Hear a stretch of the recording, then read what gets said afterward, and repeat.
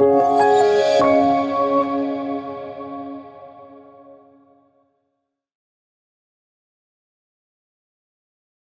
pues aquí estamos. Mm, yo debo decirles que un poco inconsciente sí que soy, porque mm, así al paso en la que íbamos a coger el avión me dice José Manuel, oye, que voy a hacer algo, mm, ya sin terminar la frase, para quienes le conozcan dije, por supuesto que sí. Porque ¿para qué decir que no? Si es imposible decir que no. Lo puede contar Fernando. O sea que, en fin, no se le puede decir que no. Así que yo dije que sí sin saber. Y luego me di cuenta de que era un verdadero privilegio, de que era un honor y de que este trabajo es extraordinario. Imagínense, en 2022 publican El España eh, en su laberinto. Y en 2024 se ven obligados, Fernando tiene que decir que sí a José Manuel, supongo, y sacan el Terra Incognita. Pero el enorme esfuerzo que significa hacer esta obra magna, porque yo lo veo como un conjunto. En el primero, que es el, que yo he leído en segundo lugar, abren en canal la historia de España, desde Fernando VII hasta el primer gobierno Zapatero. Ya observando en las glosas que van haciendo a toda la historia política, a toda la historia de nuestros conflictos, a todas nuestras guerras civiles, el siglo XIX tan convulso y nuestro siglo XX terrible, ya realizan las glosas necesarias para entender cuál era la amenaza que estaba viniendo a través de la entrada de, de Sánchez en el poder. Pero es que se ven obligados a hacer un segundo libro, que es otra maravilla, donde abren en canal la historia de Europa, directamente, sin anestesia. Y es extraordinario ver el ascenso de los populistas al poder desde los votos, en lo que mm, José Manuel denomina la, técnica de hervir los, las ranas, yo creo que es, ¿no? las ranas a fuego lento, que resulta en el día a día va calentándose ese agua, los ciudadanos van perdiendo el sentido de que son ciudadanos y no vasallos, y un día la democracia está muerta. Los dos libros, que forman un conjunto extraordinario, aunque no he leído el resto, que voy a tener que ir leyendo, claro, yo aconsejaría que leyeran primero el del 24 y después leyeran el del 22. Con algunas obras extraordinarias ocurre así. También ocurre así con algunas cosas de Sandor Marey. Yo creo que es mejor leer primero Tierra a Tierra y después leer Memorias de un burgués. Aquí también. Y hay yo estaba leyendo y me quedaba fascinada y decía, pero qué amenos son. Mira que están hablando de algo que es complicado, en un momento difícil. Estamos, ellos saben, porque tienen la legitimidad personal de la historia, de la experiencia acumulada, saben el riesgo que corremos.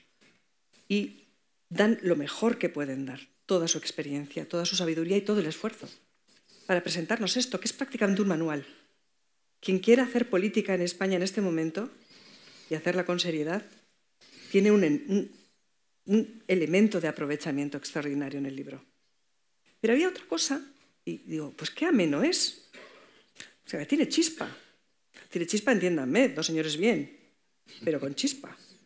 Moderada, fina, elegante, pero con chispa. Y yo dándole vueltas. ¿A quién me recuerdan? ¿A quién me recuerdan? ¿A quién me recuerdan? Y dando la vuelta de la página del libro en un momento aparece un personaje histórico que escribía divinamente, con muchos pecados él, pero divinamente. Y era Romanones. Sí. Romanones, Dios lo tenga en su gloria, a partir del 31 y a partir de los años 40, digamos que encontró la espiritualidad y quiso dejar algo del legado liberal y aquí está Cuca. Y escribió sobre Sagasta, sobre Lózaga, sobre un, un riojano añadido, pegado, pues Espartero y unos cuantos más. Y, y el hombre tenía mucha gracia, escribía muy bien, había tenido muchos pecados. Aparece en el libro. Yo no digo más. Pero, claro, yo termino de leer los dos libros y digo, estos son mucho mejores. Y mira que Romanones escribe bien.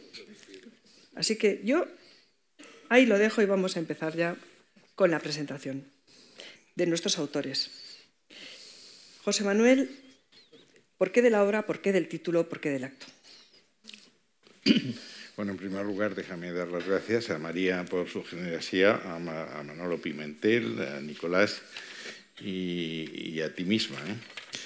Yo que según mi expresidente, tengo un ego estratosférico, eh, me ha sorprendido tu presentación. Decía José Ignacio B. recordaba a Woody Allen, decía, no me gusta que me halaguen en las presentaciones porque siempre se quedan cortos. tú te has quedado extraordinariamente larga en lo que has dicho. Bueno, eh, las personas que han hablado delante de nosotros eh, han señalado una cosa.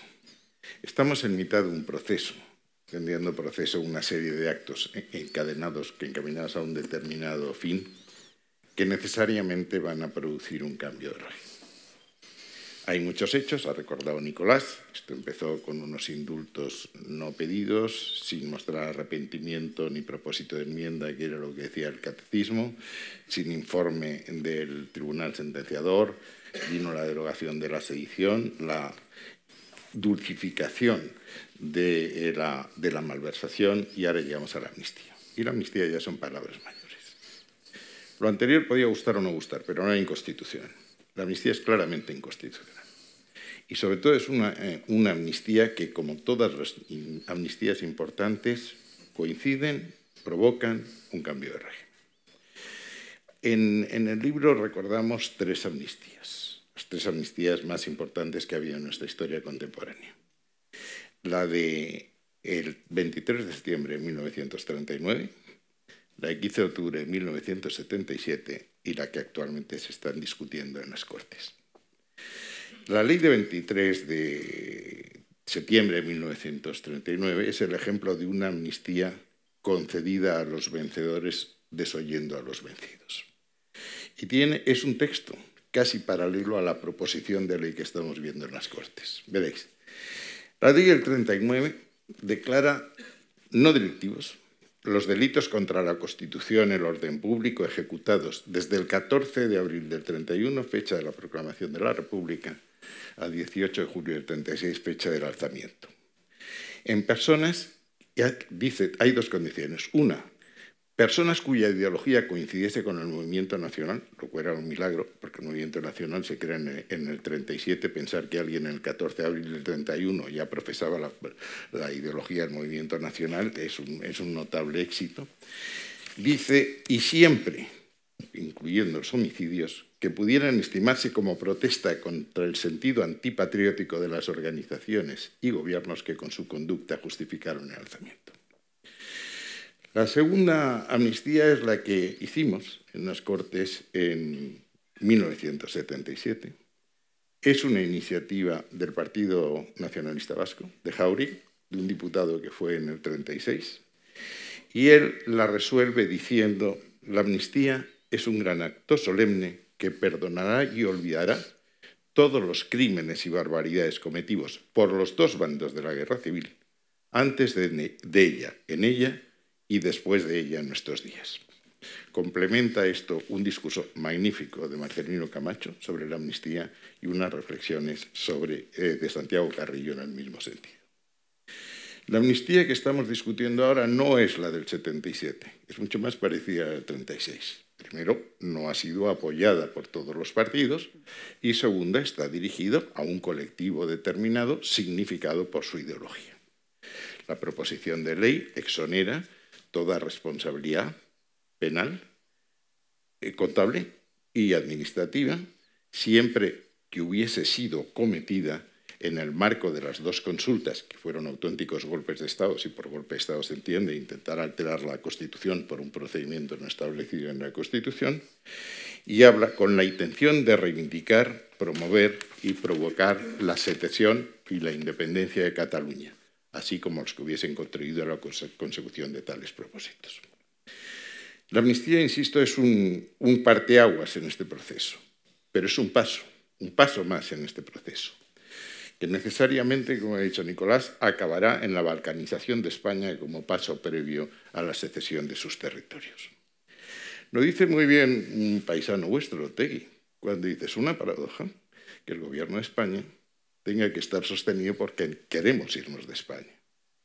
y le hace una reflexión al actual presidente del gobierno. Dice, sin vascos ni catalanes independentistas no hay gobierno en el Estado.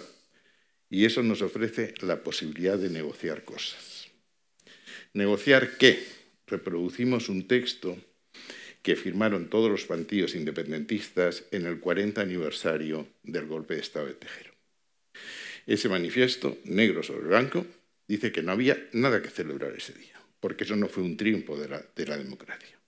Dice literalmente, lejos de ser un golpe de Estado fallido, fue una operación de Estado para reforzar el régimen de 1978.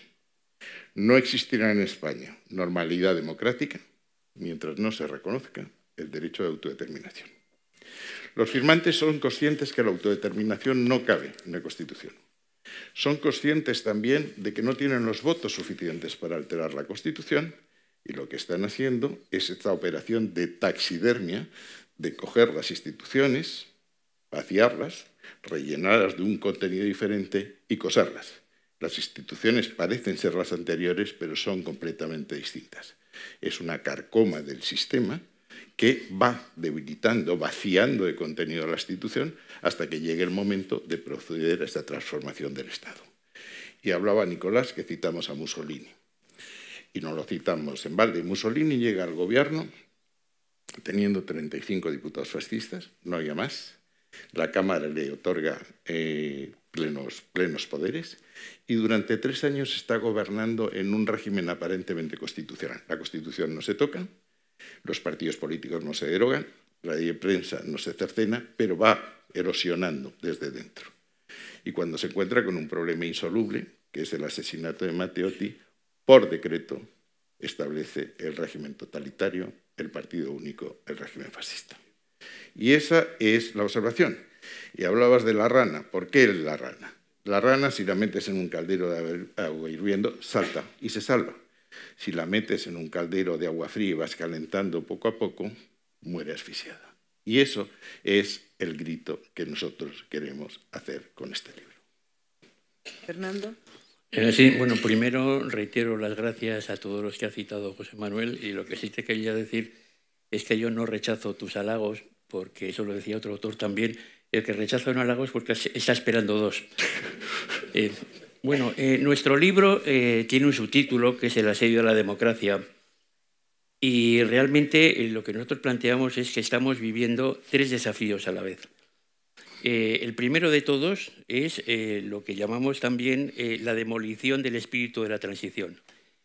¿Cuál era el espíritu de la transición? Pues era fundamentalmente la concordia, la tolerancia, el respeto al contrario, el considerar que el contrario es un rival político pero no un enemigo.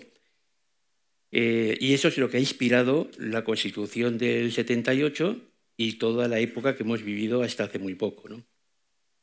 Hoy estamos viviendo una, situación completamente contraria, una situación de crispación, de enfrentamiento, eh, de polarización, que desgraciadamente no es una cosa eh, espontánea, no viene de abajo arriba, eh, forma parte de un proyecto, un proyecto político deliberado, que ahora se está plasmando y que se ha plasmado de una forma absolutamente explícita en las elecciones de julio del año pasado, que es deslegitimizar al contrario. Eh, ¿Cómo se hace? Pues bueno, buscando la legitimidad no en la transición, no en la Constitución, sino en la Segunda República. Entonces, eh, yo, la izquierda, soy el heredero de la Segunda República, de la democracia y la legalidad, y los otros son los herederos del franquismo. Y por tanto, los otros no están eh, legitimados moralmente para gobernar. Bueno, eso conduce a, un planteamiento perverso, que es no hay nada peor para el país que el que gobierne la oposición. Eh, si no hay nada peor que el que gobierne el otro, eso significa que cualquier cosa que yo haga está justificado. Tiene lógica, es aceptable porque estoy evitando el mal mayor que puede sufrir el país. Bueno, eso mm, realmente es mm, lisa y llanamente negar la democracia, porque la democracia, eh, por definición, implica la alternancia. Ustedes recuerdan que Popper decía que la democracia eh, no es un sistema para elegir al mejor gobernante, ya nos gustaría. Es un sistema para librarse de un gobernante sin derramamiento de sangre. Bueno, sin ponernos tan dramáticos, lo que hace la democracia es eh, sacralizar la alternancia. Y si no aceptas la alternancia, no eres un demócrata. Entonces, ese es el gran desafío que está detrás de lo que estamos viviendo. Y eh, en el caso de la España actual eh, se nos han juntado dos desafíos más. Uno es la aparición de un populismo de extrema izquierda que si ya directamente quiere acabar con el régimen nacido en la Constitución del 78 y sustituirlo por algo que no sabemos exactamente lo que es, una cosa muy confusa, básicamente no democrática, una especie de república eh, plurinacional de corte chavista, y luego un tercer desafío, que es el independentismo, que ha aprovechado la situación para eh, forzar una, una, secesión que ni siquiera cuenta con la mayoría de la, la colectividad o del pueblo catalán. Es decir, que realmente nos estamos encontrando con un triple desafío en un momento y por eso el libro se titula El asedio a la democracia. Mm, siguiendo en el hilo de lo que acabas de comentar, hay un, personaje político que tiene que ver con una tradición política nefasta. Arnaldo Tegui, es un estratega sin escrúpulos, pero un gran estratega, que necesita tumbar el régimen constitucional para de esa manera tener razón en haber seguido asesinando durante la democracia.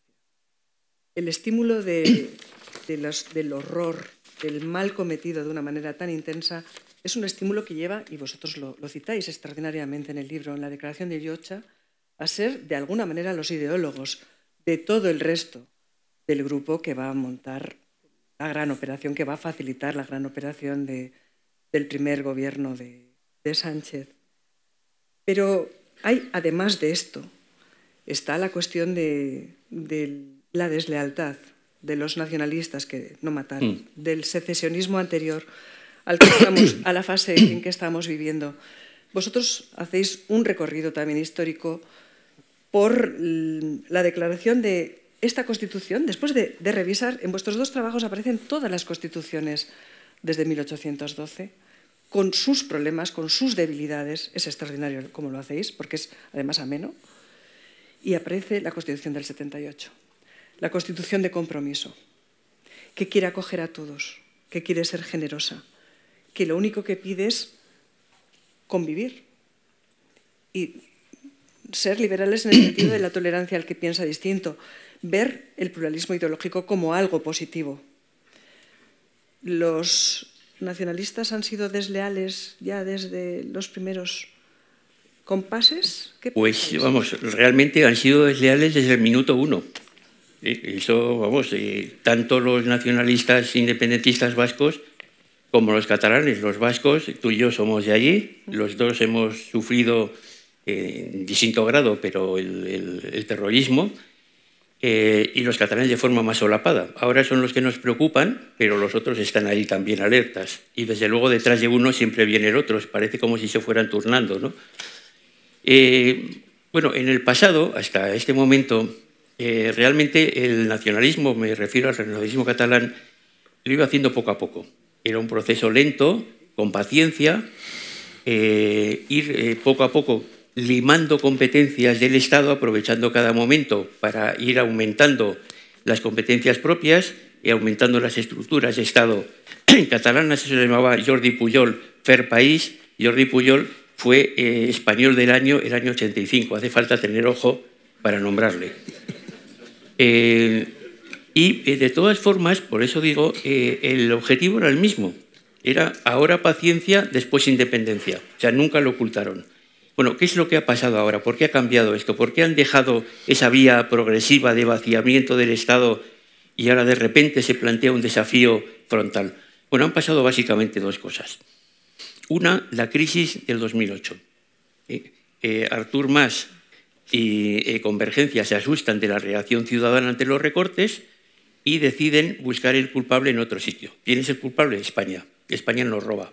Y como España nos roba, Cataluña no tiene los recursos. Si somos independientes los tendremos. Eh, eso es el, paso fundamental. ¿no? Y luego eh, han aprovechado el momento, cosa que han hecho siempre los separatistas catalanes. Lo hicieron en el 31 en el 34 y en el 36.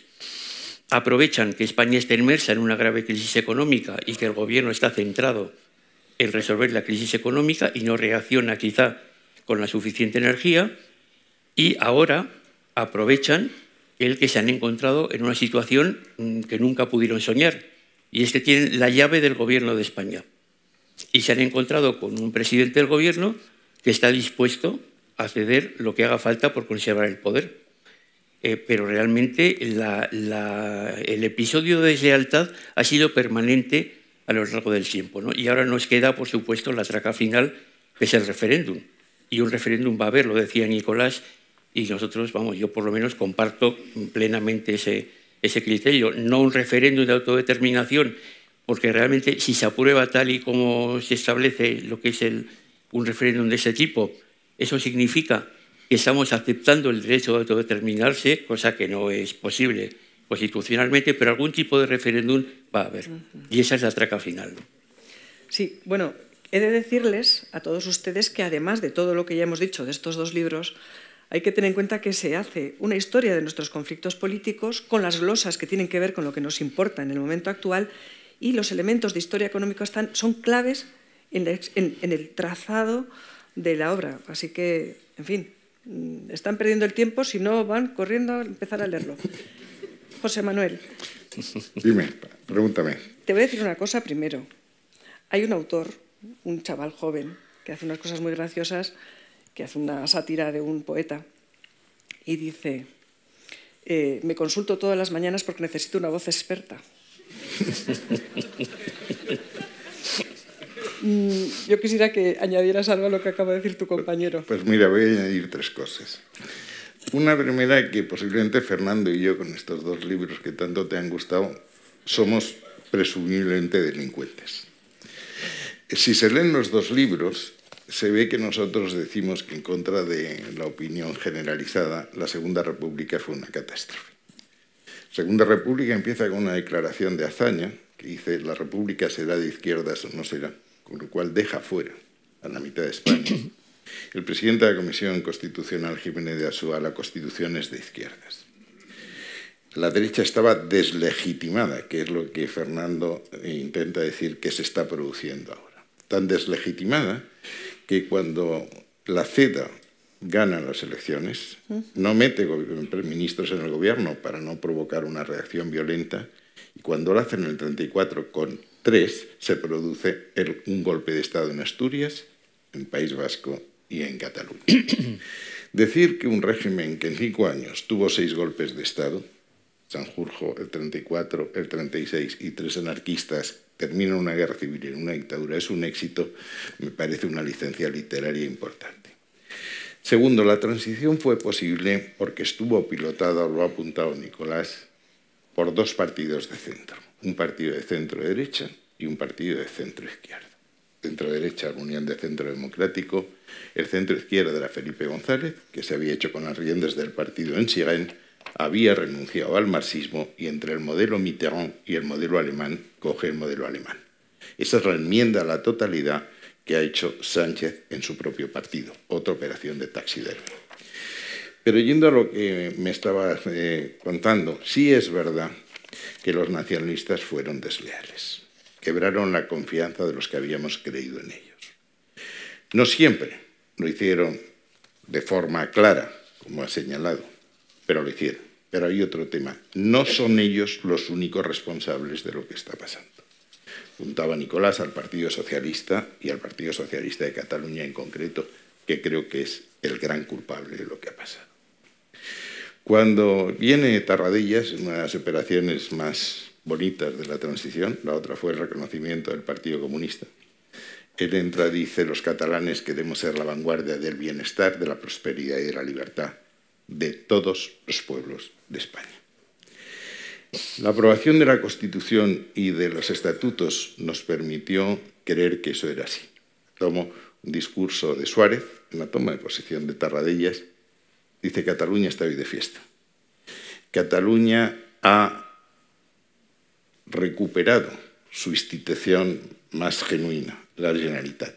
Dice, por primera vez en siglos, el gobierno de la monarquía y Cataluña han resuelto sus problemas sin violencia, sin actos previos, sin planteamientos que no puedan ser aceptados por otro. Y les creímos.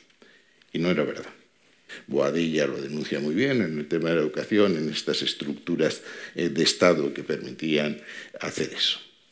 Es verdad que el salto... y hay una frase a la que recuerdo.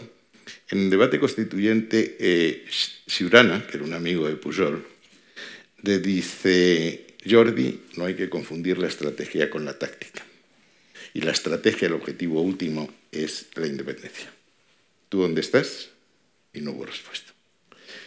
A partir de ahí se produce todo lo que ha contado Fernando Illazo. Plantean al gobierno en el que yo estaba un pacto fiscal sabiendo que no cabía en la Constitución para plantear una excusa de romper, de romper puentes. Pero eso viene precedido por una actuación del PSD que es la que legitima esto. Para mí el momento clave de ruptura es el pacto de Tinel. Maragall, un socialista, tiene la sensación, la tuvo siempre, de que eh, habiendo sido los socialistas con Reventosa la cabeza los que habían protagonizado la transición, habían sido preteridos por Jordi Pujol, que era la cuarta fuerza. Y eso lo achacan a que no forman parte de la comunidad nacional, que no son suficientemente nacionalistas. Y plantean un estatuto que tiene muchas de las cosas que están en el llamado Acuerdo de Bruselas Cataluña pasa de nacionalidad a la nación para afirmar ese hecho singular. El catalán es la lengua preferente, asume todas las competencias de la Administración, las relaciones entre la, entre la, Administración catalana y la Administración española son bilaterales, como si se tratase de estados eh, separados, y finalmente reclama una agencia propia. Todo eso está en el acuerdo que han firmado en Bruselas el enviado de el enviado de, Sánchez y, y. Y Montilla, el, PSC da un giro, del sector más catalanista y más burgués pasa al sector, a los coroneles, a los sectores más españolistas y más obreros, pero Montilla vuelve a caer en la tentación. Es que después de la sentencia del estatuto se pasea detrás de una pancarta que somos una nación, nosotros, nosotros decidiremos y por si no lo habíamos entendido, dice el Tribunal Constitucional no tiene ninguna legitimidad para anular una declaración del pueblo catalán, cosa que luego hace, hace Torra. Y aquí estamos. Yo no creo que vaya a haber un referéndum de autodeterminación. Creo que eso es la única verdad que ha dicho Sánchez en los últimos 20 años. Yo creo que la fórmula va a ser una operación Maracal bis, una modificación del estatuto que recoja las siguientes reivindicaciones. El reconocimiento de la nación catalana, seguirá el reconocimiento de la nación vasca. Su legitimación viene y se habla de 1714, de los decretos de nueva planta. Se establecerá el catalán como lengua única. Se establecerá una bilateralidad en materia de administración, además de asumir vía 152 todas las que queden pendientes, y se establecerá una hacienda propia es decir, un pacto, un pacto fiscal y un pacto político. ¿Por qué? Porque yo creo que no les interesa la independencia. Yo creo que la soberanía nominal de España les conviene para mantenerse en la Unión Europea y el acceso al Banco Central, entre otras cosas, pero de España no va a quedar más que Zara, porque no les molesta el nombre, y a lo mejor una bandera en, la aduana de Porgo. ¿Y el corte inglés? El corte inglés también. El corte inglés tampoco les molesta el nombre. Me has leído el pensamiento. Bien, eh, bueno, esto, estas dinámicas eh, que están analizadas en el libro, porque para poder hacer estrategia política necesitamos conocer las dinámicas, no para, mm, para hacer ejercicios de adivinación, sino para poder saber cómo podemos revertir esa, dinámica que podría llevar a una, situación muy inestable, que ni tan siquiera tendría que llamarse confederación, pero que estuviera absolutamente rota la sustancia de lo que es una nación, de lo que son los controles, los controles administrativos y del poder que impiden eh, que la corrupción aflore de una manera. Ah, no, por supuesto. Harán un consejo del Poder Judicial, la justicia terminará en el TSJ, salvo el recurso por unificación de doctrina, y las leyes autonómicas no, darán el mejor, no dejarán el menor margen para la intervención de la legislación estatal.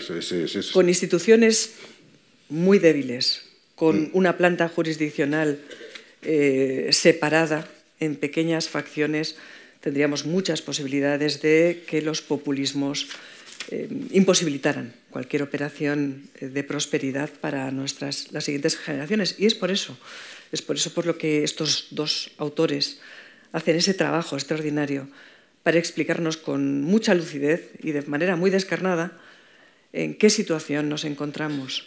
Y además con los enunciados, de tal manera que quien necesite eh, tener la documentación la tiene ya está todo en los libros prácticamente contenido. Hay, de todas maneras, hay toda, toda la operación de populismo, toda la operación de, vamos a cocer las ranas y vamos a convertir a los ciudadanos en, vasallos. Eh, la, contáis en el libro de una manera bastante clara. Eh, yo creo que es, que es interesante que diéramos dos o tres rasgos, los que os parezcan más importantes.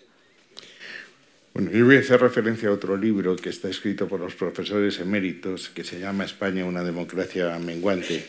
Y empieza con una cita de Araceli Mangas, que voy a leer literalmente. Dice, el refinamiento golpista de Polonia-Hungría es el modelo seguido por el gobierno populista de Sánchez. Apoderarse poco a poco de todos los poderes del Estado, retorciendo o, retorciendo o violando de lleno la Constitución. El primer, vaciamiento de la Constitución se produce por la invasión del Poder Ejecutivo en el legislativo, por el uso y abuso del decreto ley, que la Constitución considera un recurso excepcional y que se ha, constituido en el procedimiento normal de legislar. Los números en este, este caso son, realmente eh, llamativos. Desde 2016 hasta 2021 se dictaron 126 decretos leyes y solo 69 leyes, la mayoría de los cuales no era más que la conversión en leyes de decretos convalidados. Choca que el decreto ley eh, sirve como para, para amparar todo. yo he cogido tres ejemplos. El decreto de ahorro energético, que dedica cinco de las 50 páginas al ahorro energético y el resto son medidas que no tienen absolutamente nada que ver, como el abono transporte o las becas para estudiantes. El decreto ley denominado eh, antisequía, que fue aprobado justo antes de las elecciones autonómicas que, el Partido Popular eh, ganó, incluye en un título de antisequía rebajas para los jóvenes en, Interrail, trenes y autobuses. Y ya el colmo de la imaginación es el decreto del COVID que es aprovechado para incluir a Pablo Iglesias en la Comisión Delegada para Asuntos de Inteligencia de los que depende el CNE. La segunda de las grandes vías es que cuando el decreto ley no es satisfactorio, acuden a la proposición de ley que la presentan los grupos. ¿Para qué? Para eludir los informes preceptivos que no vinculantes de aquellos órganos que la Constitución ha establecido para vigilar la separación de poderes y garantizar la seguridad jurídica. La ley del sí es sí es un ejemplo eh, claro de esto y la ley de amnistía, que es un cambio legislativo, es lo mismo. En el tema, el segundo aspecto es la ocupación por militantes de, de de obediencia de vida, obediencia usquead cadáver, como nos enseñaban en los jesuitas, de notables militantes.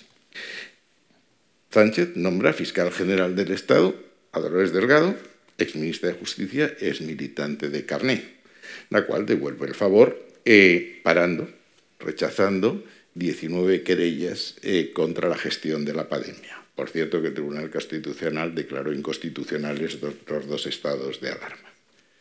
Cuando ella admite, nombra a su mano derecha, Germán, Germán Ortiz, que le corresponde nombrándole a ella fiscal de memoria democrática, en contra de un informe del Consejo, del, Poder, eh, del Consejo de los Fiscales que le acusa de desviación de poder.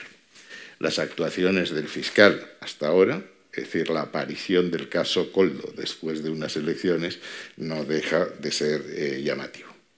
Pero lo más grave para mí es el Tribunal Constitucional, porque, insisto, creo que la gran operación jurídica en ciernes es un estatuto de autonomía refrendado por el pueblo catalán y que recurrido, como será ante el Tribunal Constitucional, me temo muy mucho que sea avalada por el Tribunal Constitucional. Y aquí Europa no tiene nada que decir. Sí lo tiene que decir en la amnistía, en el tema de la malversación, porque a los contribuyentes les gusta que se juegue con su dinero, en el tema de la alta traición por el tema de, Rusia y en el tema del terrorismo. Pero insisto, un estatuto que sea declarado constitucional difícilmente puede tener eh, acceso al Tribunal de Justicia de la Unión Europea. Y aquí ha habido cosas muy notables. En julio de 2022 el Gobierno intenta aprovechar la ley de reforma del Código Penal para, introducir varias reformas en la ley orgánica del Poder Judicial y en la propia del Tribunal Constitucional. Y quiere hacer varias cosas. Reducir la mayoría para favorecer que los que apoyan al gobierno no tuviesen contrapeso. Acusar de prevaricación a los miembros del Consejo que se opusiesen a este nombramiento y, eh, eliminar el examen previo de idoneidad, de idoneidad, de los nuevos magistrados. Claro, esto es un flatus voci, porque si se suprime la idoneidad, pues tenemos los dirigentes que poner, que tenemos, en fin. Que ¿Qué pasa con esto? Que hay una reacción cuando eh, se le paran estas cosas. El, presidente tiene una frase, el presidente del gobierno, que es para esculpirla en mármol.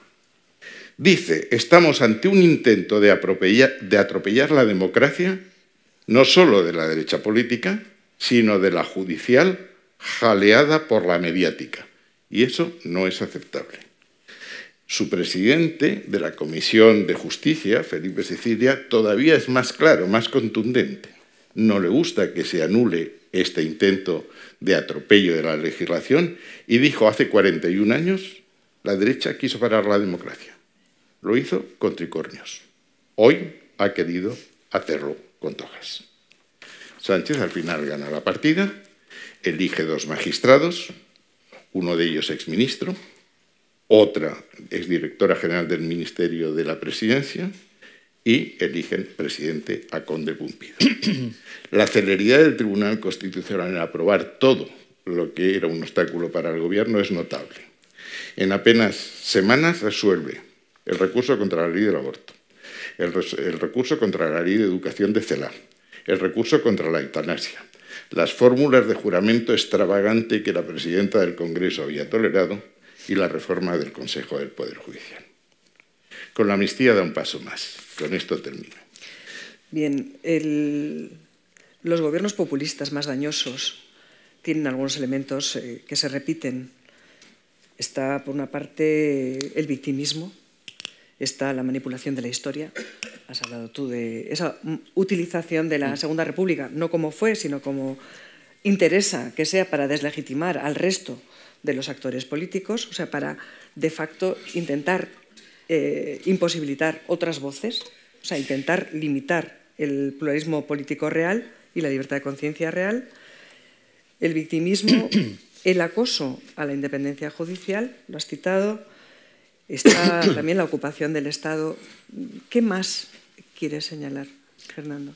Bueno, eh, la lista de, la colonización de las instituciones es tan larga que realmente terminaríamos antes diciendo cuáles no lo están ya, ¿no? Bueno, de esto hay, dos cosas que son, dos o tres cosas son gravísimas. Eh, una, ya lo ha apuntado José Manuel, es, eh, digamos, el nivel de la gente que ocupa esos puestos y otra es la forma absolutamente, bueno, desvergonzada en que se nombran, si siquiera cubrir las formas. ¿no? Bueno, esto tiene un efecto realmente eh, muy, muy dañino en la democracia porque transmite a los ciudadanos la imagen de que las instituciones son un botín, un botín del vencedor. Y que, eh, bueno, mm, realmente esas instituciones están al servicio no del Estado, sino del Gobierno. Y luego hay una segunda consecuencia gravísima, que es que otorgan al presidente del Gobierno un poder desproporcionado que está muy, muy alejado del espíritu de la Constitución. ¿eh? Pensemos, ¿eh? si esto llega hasta su final, lo que significa que un gobierno controle la Fiscalía, la Agencia Tributaria y los tribunales. O sea, es aterrador. Bueno, y realmente, eh, bueno, esto no es solamente una cuestión de ventajismo político. Es decir, yo puedo, lo hago y además así refuerzo mi poder. Hay un fondo populista en esa historia. Y el fondo populista es el concepto de que la democracia está por encima de la ley y que la democracia está en el Congreso. Es decir, el Congreso es el pueblo español, luego el Congreso es soberano luego, con una mayoría absoluta, la mitad más uno, yo puedo hacer lo que quiera. Y las instituciones se tienen que someter, porque esa es la voluntad nacional. Bueno, esto es radicalmente falso.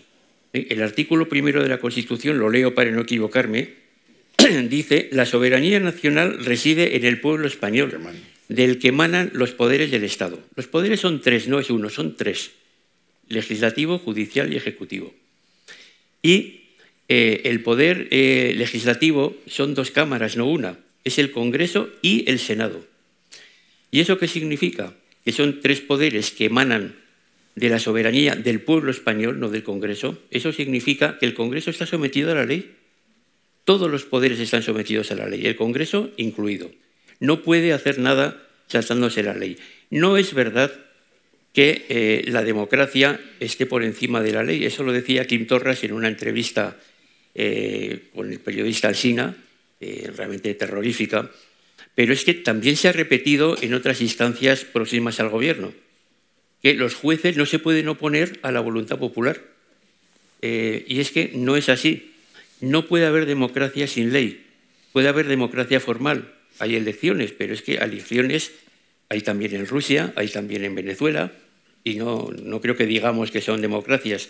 La democracia y el Estado de Derecho en una democracia eh, constitucional, eh, liberal, el estilo europeo, son indisolubles.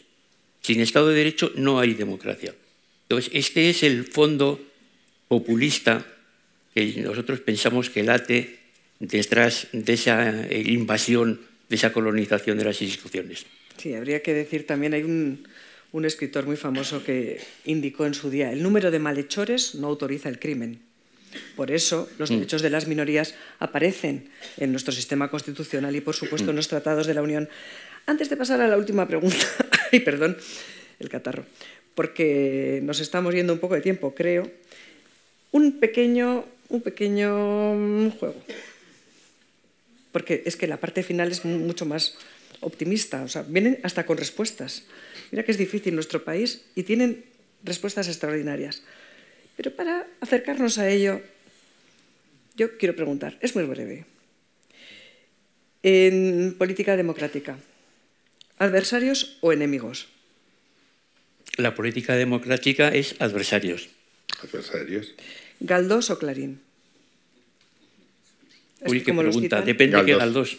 Yo Probablemente Galdós. Galdós. Pero era muy largo, ¿eh? Según qué horas. Sí, sí. Felipe González o Zapatero. Por favor. Dios.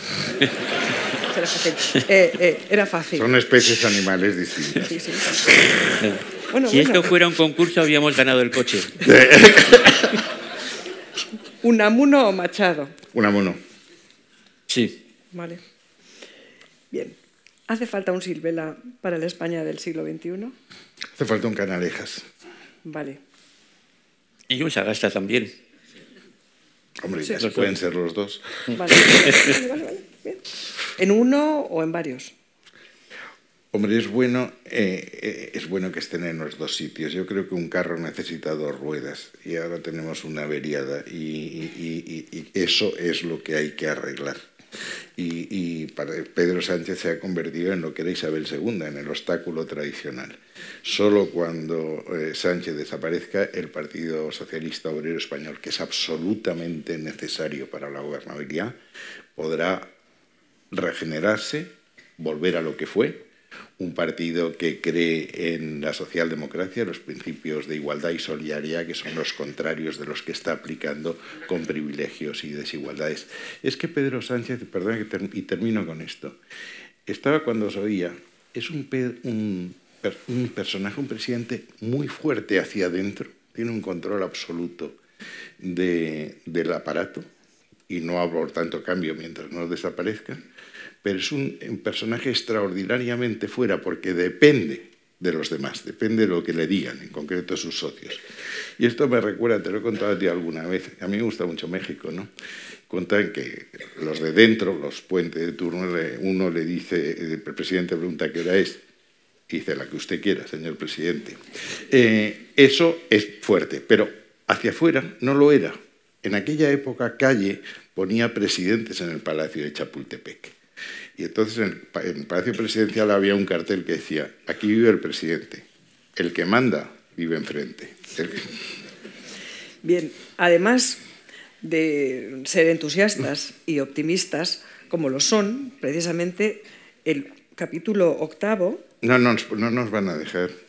No, no, no. Bueno, bueno, bueno, el capítulo octavo tiene que ver también mucho con el título octavo de nuestra Constitución. Mm. Es el que hacemos, o sea, eh, no dicen el qué hacer de Lenin, obviamente, sino el qué hacemos, que me parece muchísimo más interesante. Es inclusivo, es colectivo, está apelando a todos nosotros. ¿Qué podemos hacer cada uno de nosotros? Ellos hacen muchísimo con lo que han hecho en esta obra. Yo, mm, cuando hablé con ellos, la primera vez que hablé con los dos, les dije que tenían que hacer la tercera parte. Bueno, ¿cómo se pusieron? Hoy ya creo que tengo convencido a Fernando de un opúsculo. Cortito. Ya, ¿eh? ya te vas a enterar, José Manuel. Bien, desalojamos al sanchismo y brevemente, ¿qué es lo que proponéis? Bueno, nosotros pensamos eh, que no basta con decir váyase señor Sánchez. Eh, el destrozo y el deterioro es tan grande y la convivencia se ha debilitado tanto que realmente eh, al país hay que ofrecerle algo más. Hay que ofrecerle un programa de gobierno, un, pacto de Estado, y eso debiera tener tres partes, ¿no? que es lo que planteamos en el libro. Bueno, primero, y ya lo ha apuntado José Manuel, eh, realmente tenemos que volver a recuperar el espíritu de la transición. Es decir, volver otra vez al sosiego, a acabar con la crispación, con la polarización, eh, con, el enfrentamiento y eh, buscar un acuerdo con el nuevo Partido Socialista. No se trata, por supuesto, de renunciar a programas. Cada partido tiene su programa y su objetivo. Pero hay unas verdades básicas, unos principios básicos, que era lo que Canova llamado las verdades madre, que son pues, la lealtad constitucional, la separación de poderes, la neutralidad de las instituciones, la unidad de España, el respeto de la ley, en lo cual se tienen que poner de acuerdo las principales fuerzas políticas. Porque todos los países que han seguido ese camino han tenido estabilidad. Inglaterra tiene estabilidad política desde 1660, que se dice pronto. Holanda más o menos desde la misma época. Eh, Estados Unidos desde 1865, desde el final de la Guerra de Secesión. No hay ninguna razón para que España no tenga esa misma estabilidad y la hemos tenido ya en dos periodos de la historia, en la restauración y en la transición. Eh, por tanto, esa es la primera base de cualquier eh, programa futuro, recuperar el espíritu de la concordia y de la relación no digo amistosa, porque los partidos lógicamente luchan entre ellos, pero sí civilizada entre el centro derecha y el centro izquierda. La segunda es eh, las instituciones. No basta con volver a la normalidad, porque lo que ha pasado o lo que está pasando puede volver a pasar en el futuro. Nadie nos garantiza que dentro de unos años otro presidente con mayoría absoluta haga lo mismo. Entonces hay que blindar las instituciones. Y desgraciadamente no se blindan con leyes, ni siquiera leyes orgánicas, porque las leyes las suprime o las modifica otra ley. Habría que hacer una reforma constitucional. Bueno, esto son palabras mayores, lo sabemos. Eh, si me permiten un chascarrillo, un amigo mío decía que la Constitución hay que reformarla del mismo modo que hacen el amor los erizos, con muchísimo cuidado. Bueno, eh, efectivamente lo que hace falta es un consenso, un acuerdo entre las principales fuerzas y un amplio respaldo ciudadano. Pero eso es factible. Y en todo caso, si de verdad queremos proteger las instituciones, eso en algún momento habrá que plantearlo. Y luego la tercera pata sería cerrar el modelo autonómico. Eh, aclarar las competencias, dejar claras qué competencias son del Estado y cuáles de las comunidades autónomas, impedir el mercadeo. Eso no elimina el independentismo, pero sí reduce el margen de maniobra para el chantaje al Estado. Y dentro de esa parte, evidentemente, la más importante es el pacto en materia fiscal. De eso no voy a hablar porque entonces ustedes no compran el libro, pero desde luego ahí eh, explicamos, porque además eso está perfectamente estudiado, no por nosotros, sino por más gente, cómo se puede cerrar el modelo autonómico. Entonces, esas tres cosas eh, son la clave del futuro y son lo que debemos ofrecer a los españoles como alternativa, ¿no? porque no basta con echar o cambiar el gobierno, que esa es la condición necesaria, pero no suficiente. Yo termino.